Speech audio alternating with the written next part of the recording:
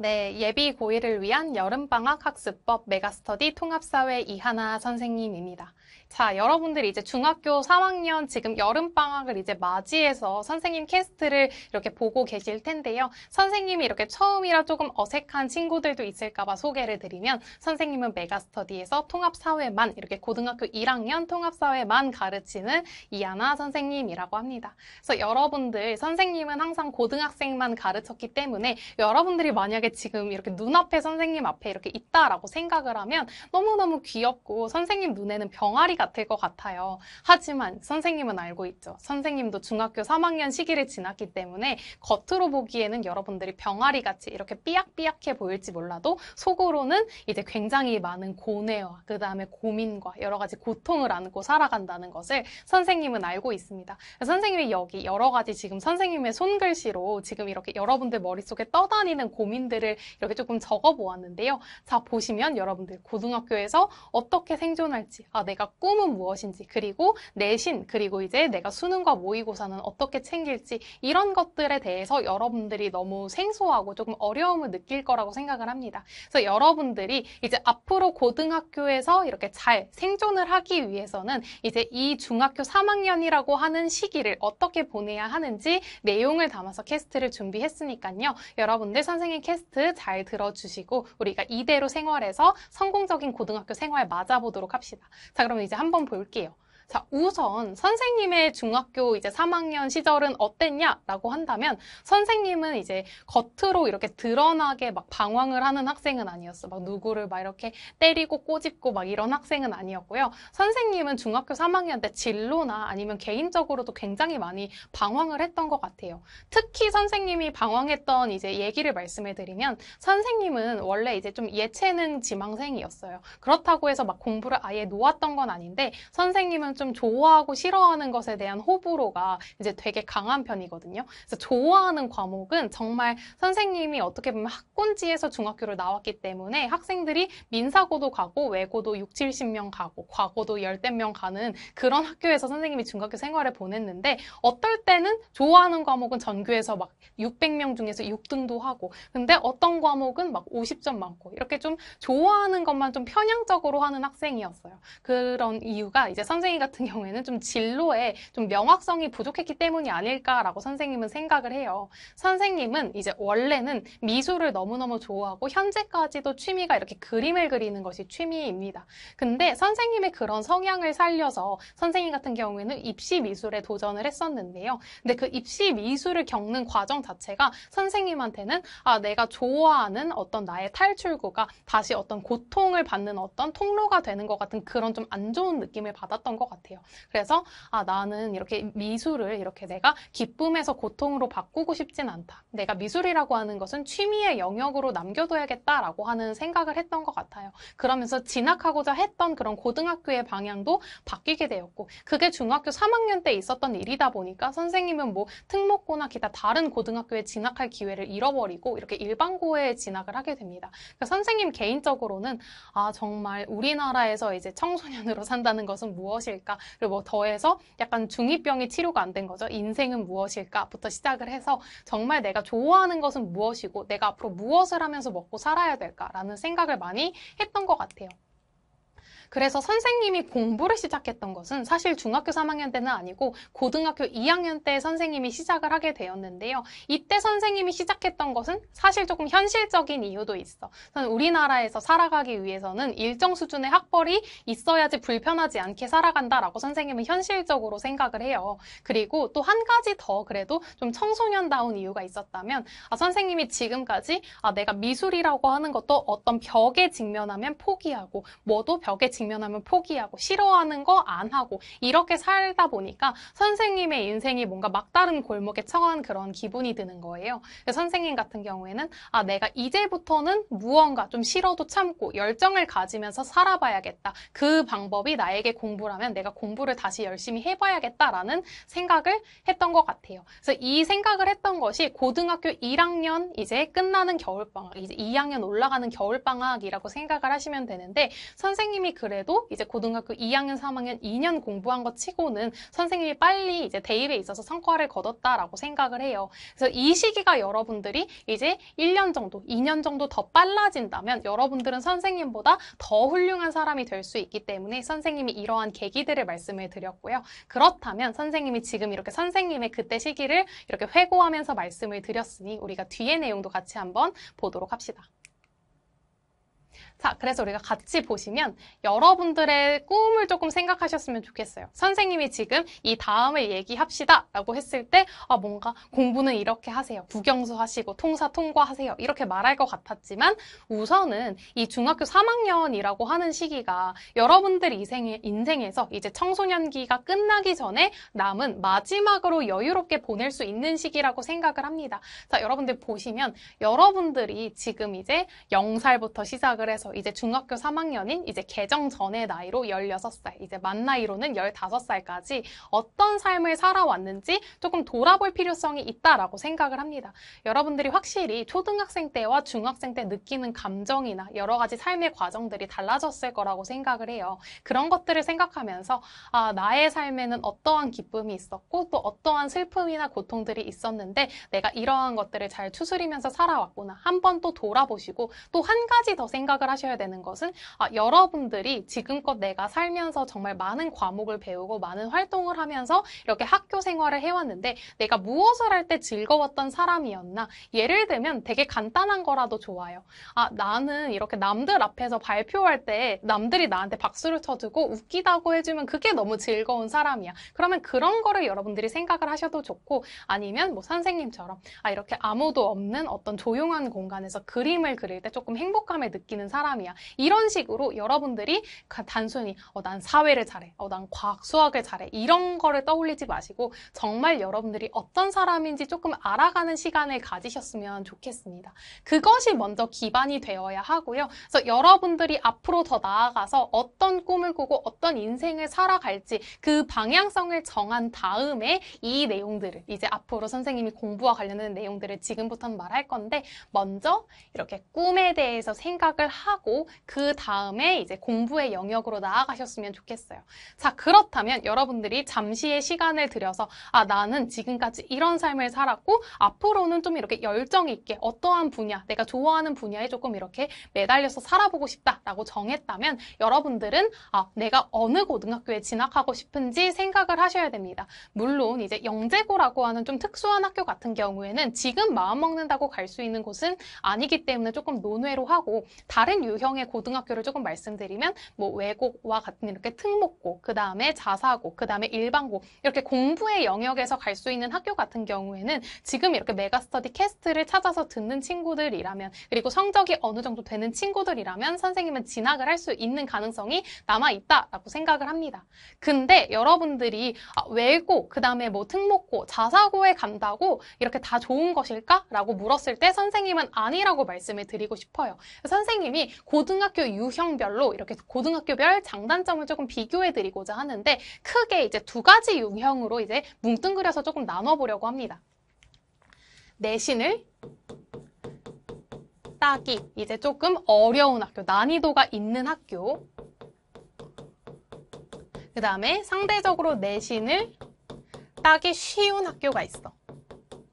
어느 학교가 더 우등하다, 열등하다의 개념은 아니에요. 단순히 내신을 따기 쉽고 어려운 학교가 있다. 이런 개념으로 생각을 하시면 되는데 여러분, 여러분들이 다 서울에 사는 것은 아니잖아요. 그리고 서울이라고 하는 곳에서도 우리가 구별로 다 지역이 나뉘게 되죠. 그래서 여러분들이 사는 지역별로 아, 우리 지역에서는 이 학교가 뭐 어디 잘 보내기로 유명해. 뭐 서울대 잘 보내기로 유명해. 이 학교는 우리 지역에 있는 뭐 특목고야. 이런 식으로 그 여러분들이 이렇게 학교별로 이제 유형 상황을 잘 알고 계실 거라고 생각을 합니다. 근데 선생님의 경우를 먼저 말씀을 드리면 선생님은 조금 공부를 늦게 시작했다라고 말씀을 드렸잖아요. 선생님은 좀 이렇게 내신을 따기 쉬운 학교에 진학을 했던 것 같아요. 그 선생님의 의도는 아니었고 서울의 경우에는 이제 일반고를 진학할 때 1지망, 2지망을 써내게 되는데 선생님 같은 경우에는 좀 이런 학교를 썼다가 이 두 학교가 집과 거리가 멀어서 떨어졌어. 그래서 선생님은 이제 선생님이 공부를 못했던 건 아니에요. 그래서 완전히 놓은 건 아니라서 그냥 이제 정말 서울의 경우에는 주소로 하여금 이렇게 뺑뺑이를 돌리게 되는데 운이 좋지 않은 이제 13% 안에 들었던 것이죠. 근데 오히려 선생님이 의도하지 않았던 이 고등학교에 간 것이 선생님에게는 큰 복이 되었던 이유가 무엇이냐면 선생님은 공부를 늦게 시작했다라고 말씀을 드렸잖아요. 그래서 고등학교 2학년 때부터 본격적으로 시작을 했는데 선생님이 고등학교 2학년 때 시작을 하고 나서 이제 첫 학기에 이렇게 전교 1등을 하게 됩니다. 그렇다고 선생님이 특성화고 출신도 아니었고 선생님 학교에서도 서울대 3, 4명 이렇게 다 진학을 했어요. 그렇게 나쁜 고등학교는 아니야. 근데 상대적으로 그 지역에서는 내신을 따기 조금 쉬웠던 학교였던 것이죠. 그래서 선생님 같은 경우에는 아 오히려 내가 이런 학교에 진학을 했다면 이제 중학교 때부터 그런 기반 실력을 쌓은 아이들을 절대 이길 수가 없었을 텐데 내가 지금 이러한 학교에 다니기 때문에 상대적으로 내신을 잘 딸 수가 있구나. 아 그렇다면 그리고 또 이 학교 같은 경우는 과학 중점 학교였거든요. 그래서 선생님 같은 경우에는 전략적으로 생각을 해서 아 내가 그러면 지금 이과를 지망을 했지만 그러면 여기는 과학 중점 학교이기 때문에 이과 내신이 빡셀 테니 문과 내신을 뚫어서 문과 내신으로 쉽게 대학을 가자라고 생각을 했고 선생님의 전략에 정확하게 먹혀들여서 선생님은 지금 이제 선생님이 졸업한 대학교를 수능 보기 전에 교과 전형으로 합격을 했어요. 그러니까 선생님에게는 되게 오히려 운이 좋았던 것이죠. 선생님 같은 경우에는 이렇게 추천을 해 드리고 싶어요. 아, 내가 중학교 때부터 전교권이었고, 나 이제 상위 고등학교 가서도 내가 적어도 10% 안에 들 자신이 있다. 특히 이제 외고나 자서고 같은 경우에는 10%. 그리고 여러분들이 일반고에 진학했다라고 하면 4% 안에 들, 들 자신이 있다라고 하면 이제 내신 따기 어려운 학교에 가셔도 좋아요. 근데 아, 아니야 나 아직 공부에 자신이 없고 난 수능 공부 해본 적도 없고 그래서 난 공부에 조금 미천이 없는 상태야 라고 한다면 오히려 이런 고등학교에 가셔서 여러분들이 교과 전형을 누리는, 노리는 것도 이렇게 좀 하나의 방법이 될 수 있다는 거 말씀을 드리고 싶어요. 선생님이 지금 전국의 학생을 대상으로 캐스트를 촬영하고 있기 때문에 모든 고등학교의 어떤 정보를 알려드릴 수는 없지만 여러분들 지역에서 이러한 고등학교의 유형을 파악 파악을 하시고 어느 고등학교에 가는 것이 좋을지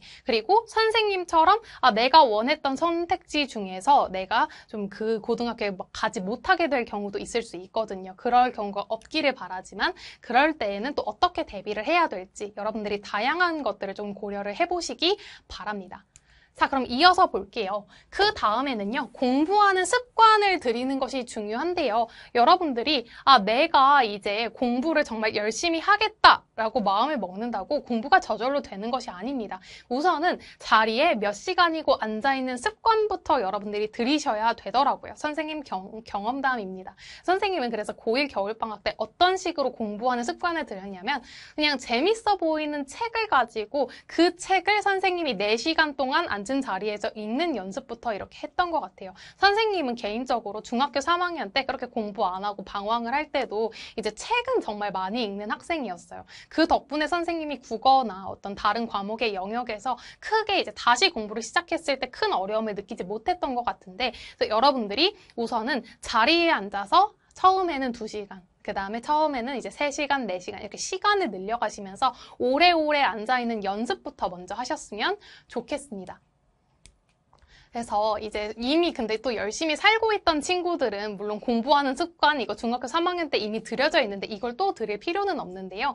사실 선생님이 이제 생각하기에 이 영상을 보는 한 이제 80%의 친구들 같은 경우에는 내가 공부에 미천이 부족하다라고 생각하는 친구들이 많을 것 같아요. 그럴 때에는 여러분들이 고등학교 생활을 대비하셔서 공부하는 습관, 자리에 3시간, 4시간, 5시간 앉아있는 습관부터 먼저 들이시게 되면 여러분들이 사실 고등학교 1학년에 입학하 가셔서 3년 동안 공부하시는 게 아닙니다. 여러분들 수능 진도는 사실 고등학교 2학년 때 맞춰야지 여러분들이 안정적으로 수능을 볼 수가 있어요. 근데 보통 이제 보편적인 일반고에서는 이제 수 이제 진도를 어떻게 나가냐? 정말 교과서의 진도 그대로 나가요. 그래서 수능이 끝나고 나서 정말 수학의 챕터 마지막을 오히려 수능 이후 기말고사에 보게 되는 그런 상황이 이렇게 나타나게 되는데 여러분들이 말 그대로 그러니까 학교 일반 고등학교 기준 기준의 그런 진도에 따라가시는 것이 아니라 고등학교 2학년 안쪽에는 수능 공부를 무조건 다 맞춰두셔야 된다는 말씀입니다. 그러기 위해서는 고1, 고2 이제 그 시기 같은 경우에는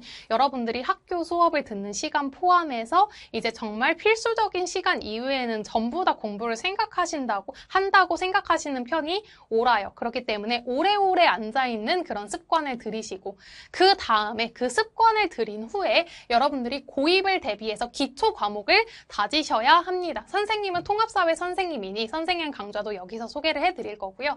원래 선생님 같은 경우에 이제 여러분들 윗학년, 이제 08년생 같은 경우에는 국영수를 먼저 이렇게 중점적으로 공부를 해라. 통사 통과는 나중에 해도 늦지 않다. 다만 이과를 진학할 예정이라면 이제 물화생지 중에서 적어도 두 과목 정도는 좀 선행을 해라 라고 선생님이 말씀을 드렸어요. 현실적으로. 근데 이제 여러분부터는 어떻게 되죠? 통사 통과가 문이과 구분 없이 수능 과목으로 포함이 되게 됩니다. 그렇기 때문에 국영수와 이렇게 비견 이제 비준되는 이제 중요성을 가진다라고 보실 수 있겠죠. 그래서 선생님 같은 경우에도 이제 예비 중3, 예, 비 중3이 아니죠. 이제 예비 고1을 대상으로 하는 이제 이 하나로 시작하기 화이트라고 하는 2022 개정 교육 과정에 새로운 강좌를 마련을 했는데 그 강좌에서 선생님이 굉장히 쉽게 통합 사회를 접근합니다. 사실 고1 선배들한테는 선생님이 약간 어려운 개념 외워 해야지 고등학생이잖아 어떻게 약간 이렇게 탁 던져주는 편이지만 여러분들은 아직 중학생인 것을 고려를 해서 좀 재밌고 쉽게 가르쳐 드리려고 준비한 강좌들이 있어요. 근데 그게 비단 선생님뿐만이 아니라요. 메가스터디에는 선생님보다 더 훌륭하신 그런 수많은 선생님들이 계시기 때문에 국어, 영어, 수학, 통사, 통과 여러분들이 사실 어떻게 공부해야 할지 감이 안 오실 거라고 생각을 해요. 그래서 이러한 여러분들의 어떤 학년, 예비 고1이라는 그런 학년의 어떤 특수성에 맞춘 그런 이제 강좌들이 있을 것이기 때문에 각 과목별 선생님의 강좌들을 들어보시고 이제 맛보기 이런 거 들어보시고 여러분들이랑 가장 잘 맞을 것 같은 선생님의 강의를 들어보세요. 그리고 커리큘럼을 그대로 따라가시고 그 선생님께서 시키시는 대로 하면 여러분들 절대 그 과목에서 못할 수가 없습니다. 이거는 이제 정말 선생님이 말씀드릴 수 있어요. 선생님 통합사회 과목만큼은 정말 전문성을 쌓아왔기 때문에 선생님이 시키는 거를 정말 하나도 빼놓지 않고 다 했다? 근데 100점이 안 나와? 그거는 있을 수가 없는 이야기입니다. 그래서 여러분들 이제 여러분들이 비단 통사뿐만이 아니라 국영수, 통사, 통과 전부 다 이렇게 조금 예습하는 시간, 이 여유로운 시간을 활용해서 하셨으면 좋겠고요. 자, 그 다음에 좀 이제 정말 외적으로 강조하고 싶은 것은 여러분들이 이제 대학을 진학하기 위해서 양질의 독서가 이렇게 조금 요구가 됩니다. 근데 우리가 또 독서를 할 수 있는 시기가 이 중학교 3학년이 마지막이라고 생각을 하시면 돼요. 고1, 고2 가면 정말 내신 시험 준비하랴, 수능 준비하랴, 수행평가 하랴 정말 아이들이 정말 죽어나갑니다. 그렇기 때문에 지금 이 여유로운 시기를 활용하셔서 여러분들이 양질의 도서를 최대한 많이 읽으시기 바랍니다. 독서의 양과 질을 모두 챙기셨으면 좋겠습니다. 이것이 분명 여러분들 대입에 큰 도움이 될 거라고 생각을 하니까요. 여러분들 중학교 이제 도서관에 있는 책부, 책부터 여러분들이 좀 영양가 있어 보이는 책들 위주로 좀 많이 많이 읽어두시길 바랄게요. 자, 그래서 선생님과 함께하는 통합사회 강좌 같은 경우에는 이제 여러분들부터 적용이 되는 이 하나로 시작하기 화이트라고 하는 선생님의 기본 개념 강좌보다는 조금 더 재밌게, 조금 더 난이도는 낮춰서 여러분들이 선생님 손잡고 기초로 이렇게 기초 통합사회로 이렇게 으쌰 올라올 수 있는 그런 강의고요. 그 다음에는 이제 여러분들이 만약에 시작하기를 잘 소화를 하셨다. 그러면 사실 통합사회 여러분부터 수능 과목이잖아요. 선행의 개념으로 생각을 하시고 이 하나로 개념 완성 완성은 이제 난이도가 굉장히 있는 개념 교재입니다. 그리고 그에 따른 문제풀이 분류의 그런 문제들도 좀 다소 녹록지 않은 그런 문제들인데 이거를 여러분들이 이제 겨울방학 때 하고 가시면 확실히 통합사회 내신에서 경쟁력을 조금 갖추고 들어갈 수 있을 거라고 생각을 해요. 통사 좀 방학 때 하시고 그 다음에 고등학교 올라가시면 고등학교 올라가서 최대한 좀 이렇게 시간을 줄일 수 있잖아요. 내신 공부하는 시간을 무슨 공부든 가리지 마시고 국영수, 사과, 전 전부 다 여러분들이 선행을 할 수 있으시면 하시는 게 좋습니다. 지금 수능 과목이 이미 정해졌잖아요. 통사, 통과 이렇게 정해진 시점에서는 여러분들이 국영수 사과 전 과목 선행이 어느 정도 요구된다라고 선생님은 말씀드리고 싶습니다. 근데 그게 비정상적인 선행을 말씀드리는 것은 아니고요. 그냥 내가 적어도 한 학기 그리고 1년 정도의 공부는 미리 이렇게 훑어본다는 생각으로 근데 이제 수학은 훑어보는 것만으로는 안 되죠. 수학 같은 경우에는 상위권 대학 진학을 노린다면 정말 더 심도 있게 때좀 빨리빨리 공부를 하셔야 된다고 강조를 드리고 싶고 그 다음에 어, 나는 조금 공부가 어려워서 통합사회 공부가 어려워서 조금 쉬운 시중 문제집부터 시작하고 싶다라고 하면 선생님 강좌 중에서 완자 통합사회 개념 완성이 있고요. 그 다음에 완자 기출픽 통합사회 문제집을 이용한 또 문제풀이 해설 강의가 있습니다. 그래서 여러분들이 이러한 선생님의 강좌 이거는 난이도가 이제 좀 하, 중하 정도라고 보시면 되고요. 이거는 이제 상. 이거는 중 정도라고 보시면 될 것 같습니다. 그래서 여러분들이 어, 나 공부 잘해. 나 상 바로 들을 거야. 그렇게 하셔도 되고요. 어, 아니야. 나는 너무 공부 못해. 나는 중하부터 들으면서 안정감 있게 쌓아갈래 하셔도 좋고 어, 난 중을 들을 거야. 이렇게 하셔도 여러분들 좋습니다. 그래서 어쨌든 선생님이 지금 이렇게 통합사회 강좌에 대해서까지 말씀을 드렸고요. 네, 선생님이 이제 가장 강조를 드리고 싶은 것은 이제 선생님이 맨 앞에서 이야기했던 그런 내용들입니다. 여러분들 이제 고등학교 1학년에 올라오셔서 선생님을 만나기 전까지 이제 중학교에서 시간을 보내실 텐데 그동안 여러분은 어떤 삶을 살아오셨나요? 그리고 앞으로 여러분들은 어떤 삶을 살아가고 싶으신가요? 그러한 질문들을 스스로 되뇌어 보면서 스스로 다독거려주는 그런 시간을 우리 마지막으로 좀 가져주세요. 중학교 때 마지막으로 가져주시고 그러한 스스로 스스로에 대한 애정을 바탕으로 여러분들이 공부를 하시고 더 멀리 멀리 앞으로 나아가, 나아갈 수 있는 그런 이제 여러분들의 어떤 공부나 기타 뭐 예체능을 하는 친구들이라면 뭐 그림, 음악, 뭐 이제 여러 가지 것들 그런 것들을 쌓아가는 시간을 여러분들 스스로에 대한 애정을 기반으로 해서 쌓아 나가 주시기를 부탁드리겠습니다. 여러분은 이제 이런 얘기하는 거 선생님은 학교 제자들한테는 많이 안 그랬어요. 오글거리는 거를 싫어하는 성격이라.